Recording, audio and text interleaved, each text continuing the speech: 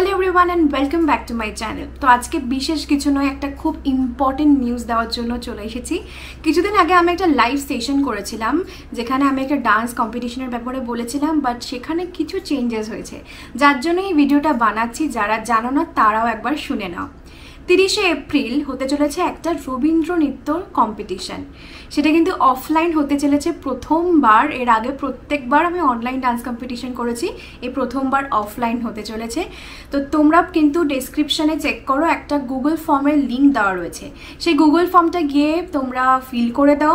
Entry fee রয়েছে পঞ্চাশ টাকা, যেটা তোমরা জিপে ফোনপে ব্যাঙ্ক ট্রান্সফার সব রকম উপায় করতে পারো। সেই স্ক্রিনশটটা তারপর গুগল ফর্মে কিন্তু লাস্টে অপশন আছে, সেখানে আপলোড করে দিতে হবে। তোমাদের যাবতীয় প্রশ্ন, সমস্ত কিছু কিন্তু এই স্ক্রিনে লেখা ফোন নাম্বারটায় ফোন করলে জানতে পেরে যাবে। সো ডু নট হেজিটেট যে কোনো দিন তোমরা সকাল দশটা থেকে রাত নটা অবধি ফোন করতে পারো। সব থেকে ইন্টারেস্টিং ব্যাপার হচ্ছে এই ডান্স কম্পিটিশনটার কিন্তু কোনো এজ লিমিট নেই। সব রকম এজেরই কিন্তু আলাদা আলাদা গ্রুপ রয়েছে।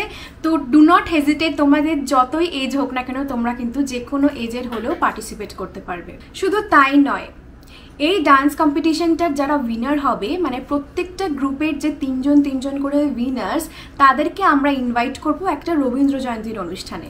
আটই মে আমি এবং আমার ডান্স স্কুলের যত স্টুডেন্টসরা রয়েছে আর আমার ওয়ার্কশপের স্টুডেন্টসরা আমার বন্ধুরা সবাই মিলে একটা প্রোগ্রাম করতে চলেছি which is related to Rabindra Jayanti. এবং সেখানে কিন্তু এই প্রত্যেকটা গ্রুপের উইনার্সরাও থাকবে। তোমরা পার্টিসিপেট করো কি না করো, তোমাদের সবাইকে আমন্ত্রণ করলাম। তোমরা কিন্তু আটই মে এই প্রোগ্রামটা ডেফিনেটলি দেখতে এসো।